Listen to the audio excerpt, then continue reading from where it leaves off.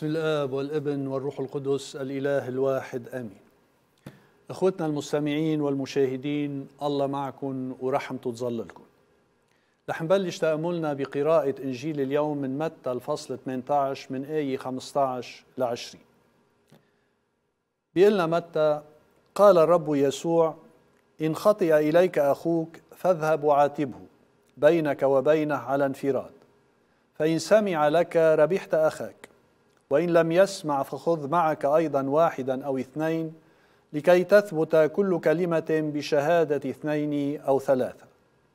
وإن لم يسمع لهما فقل للكنيسة. وإن لم يسمع للكنيسة أيضا فليكن عندك كالوثني والعشار.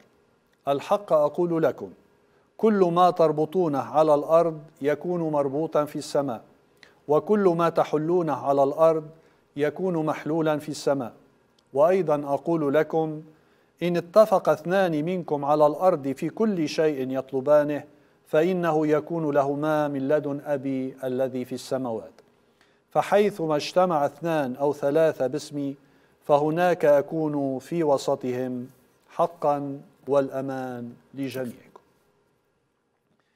قبل التأمل بإنجيل اليوم رح نتوقف عند أهم الأفكار الوارده بنص أعمال الرسل اليوم. في عنا ثلاث مشاهد. المشهد الأول بخبرنا أعمال الرسل اليوم عن رجل اسمه سيمون. سيمون الساحر يلي كان يمارس السحر ويدعي أنه هو رجل عظيم وعم يدهش أهل السامرة. اعتمد سيمون ولازم فيليبوس ودهش هو بدوره من الأشياء اللي كانت عم بتصير على يد فيليبوس من آيات عظيمة وأعمال قديره لأنه كان استخدام السحر أمر شائع بالعالم القديم وحتى اليوم بالعديد من التقاليد والحضارات وحتى في واقعنا الراهن. كان السحرة يدرسوا الفلسفة والتنجيم والطب وسائر العلوم. وسيمون درس بالإسكندرية وانتقل إلى أنطاكيا وروما وكان موجود بهالوقت بالسامرة. يسوع بيقول من آمن واعتمد يخلص ولكن سيمون اعتمد من دون ما يآمن والشياطين آمنت من دون ما تعتمد. فالإيمان الحقيقي والمعمودية الصادقة هن يلي بيمنحوا الخلاص وحدهم إذا كان الإيمان مغلوط المعمودية بتكون مغلوطة وإذا كانت المعمودية غير صادقة كمان بيكون الإيمان غير صادق.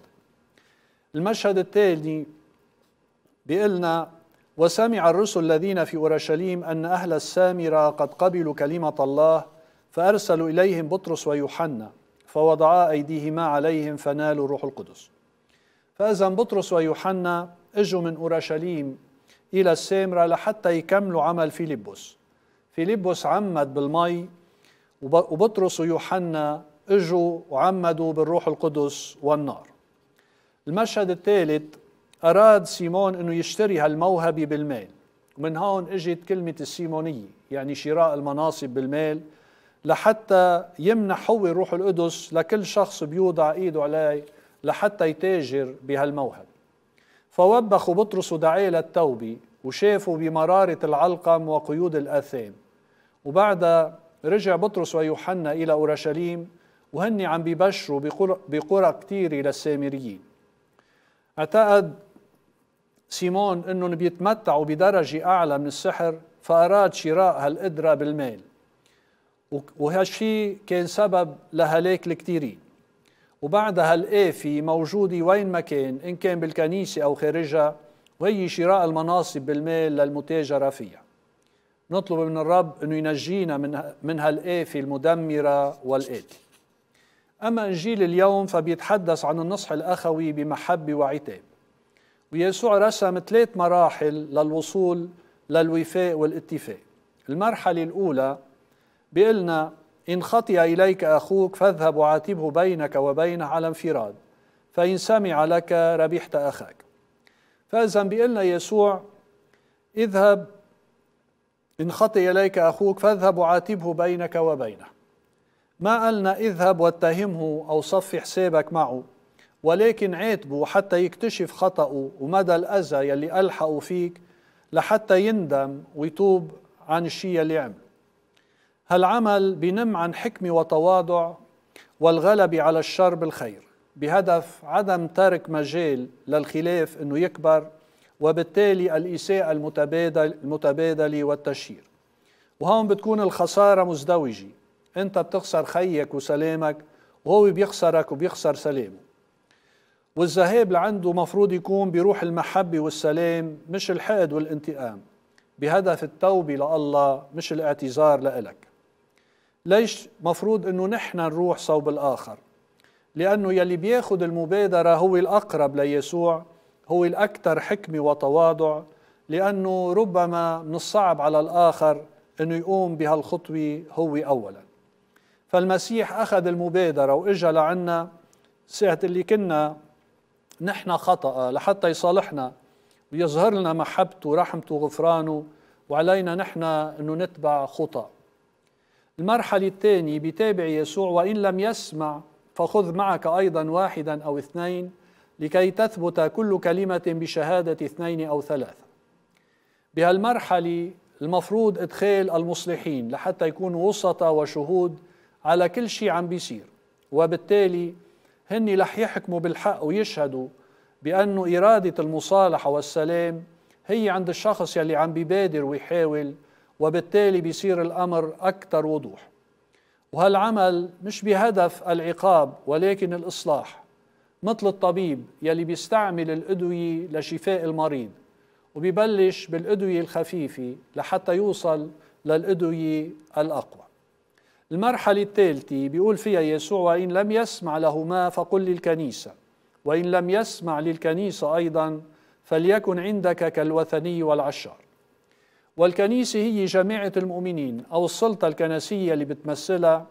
وساعة اللي بيرفض كل الوسطات بتكون أصبحت أنت معفى من أي ذنب أو مسؤولية.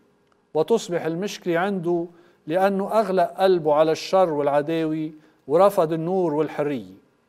وبالتالي فيك تتجاهله لأنه صار غير قابل للشفاء. وبالتالي يصبح ضميرك مبرر قدام الله والناس لأنك بادرت إلى المصالحة والمسامحة والغفران بكل الوسائل وهو أقفل كل الأبواب. وهون الخلاصة بهالإنجيل هي خلاصتان. أول خلاصة بيقول يسوع الحق أقول لكم كل ما تربطونه على الأرض يكون مربوطا في السماء وكل ما تحلونه على الأرض يكون محلولا في السماء. فإذا يسوع أعطى سلطان الحل والربط للرسل وللكنيسة مجتمعة. وبالتالي للسلطة يلي بتنتخبها الجماعة لتدبر وتعلم وترشد وتقرر. وبالتالي للسلطة الكنسية أنه تربط كل من يرفض الخير والحقيقة والمصالحة كمن يقطع العضو الفاسد بعد نفاذ كل الوسائل والعلاجات لشفائه وتبقيه خارج الجماعة مربوط إلى أن يتوب ويعود. ساعتها بتفك رباطه وبترجعه للكنيسة. الخلاصة الثانية بضيف يسوع إن اتفق اثنان منكم على الأرض في كل شيء يطلبانه فإنه يكون لهما من, لد من لدن أبي الذي في السماوات. فحيثما اجتمع اثنان أو ثلاثة باسمي فهناك أكون في وسطهم فإذا يسوع عم يدعو الجميع على الصلاة من أجل الخاطئين والمربوطين والمتصلبين في الشر لأن الرب بيستجيب صلاة الجماعة الوحدة. والشيء بيرمز كمان للصلاة العائلية والوحدة بالإيمان والحب.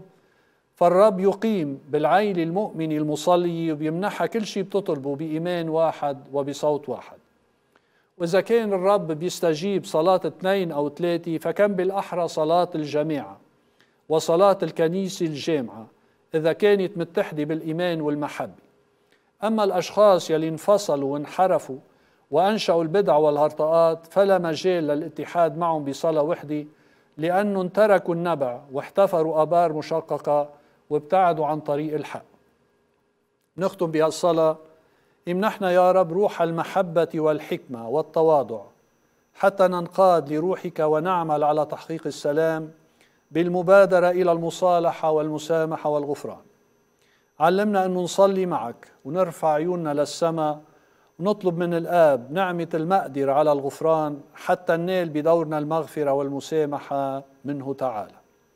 طهر قلوبنا صفي نوايانا نقي أفكارنا قدس أرواحنا حرر نفوسنا جدد أجسادنا حتى نتوحد بالإيمان ونصلي برجاء ونعمل بمحبة. فيتمجد بنا اسمك أيها المسيح إلهنا مع اسم أبيك المبارك وروحك القدوس من الآن وإلى الأبد. آمين.